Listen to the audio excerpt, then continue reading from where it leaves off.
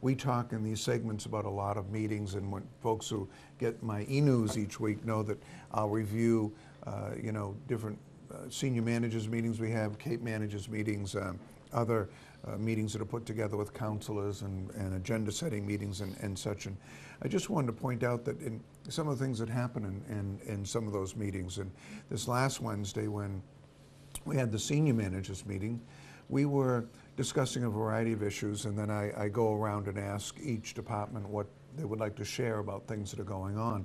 The chief mentioned the, uh, some of the opiate issues that the police were confronting and the number of overdoses that they had had to deal with in the, in the course of the last um, calendar year and the resources that went, went into that.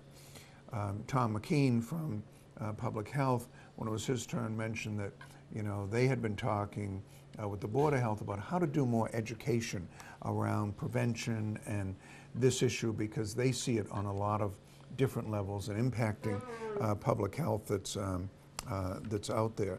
Then our um, DPW spoke and said, look, it's an issue for us too because we're out and we see the needles. We see the folks that drop them in the ground, put them, uh, you know, in, in, in, in, parking lots, by the bandstand, whatever it might be, and they're raking those up. And they, we have education on uh, how to how to safely handle these this the trash and the non-piercing gloves and things of um, of, of that nature. And then um, we know that the it's an issue for the schools and for young people.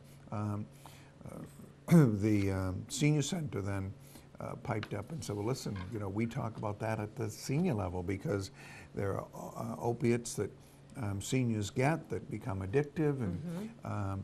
we in general talked about that from a physician prescription point of view. We know there's a lot of discussions going on there. So just in one meeting, we had, you know, five different agencies touch on how this problem impacts us and, uh, and, and the monies and resources that we put into it. And we, the police department isn't going to solve it. The schools alone aren't going to solve it.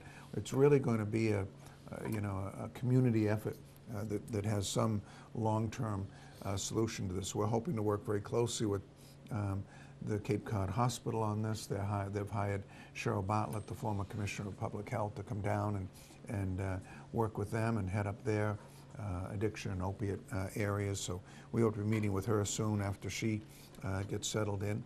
So it's one of those problems that, you know, you can just casually bring up about on a stati mm -hmm. statistics side and then see that it, it cuts through our whole um, the whole fabric of our society. So it's really something that, that I know the town council has been very involved in and trying to speak out and work with agencies on. But it's, um, it's something we've been working for years to try to resolve and hopefully 2015 will be the year that we make some significant headway in it. Absolutely. Well, really, you know, I, I, give credit to all of the department heads and yourself for, for bringing the issue up and not being afraid to talk about it and certainly hearing from all those different perspectives, whether it comes from the superintendent mm -hmm. or the senior center or the police, that just shows how multifaceted and really pervasive the issue, the mm -hmm. issue is. And it's not just one aspect of the population that's being affected, it's almost everyone. Well, and then when it when it hits in a family, it, it it's not just the individual, the addict that you know becomes uh, or the focus of, of how to how to solve that the, the problem for them. Just impacts the family life all the way through. So um, my heart goes out to those that have had to deal with it, and it's all economic levels. And uh, we certainly hope that, as I say, um, we can keep working on this and try to make headway in 2015. Great. Well, Tom, I thank you so much as always for joining us here on Barnstable this morning.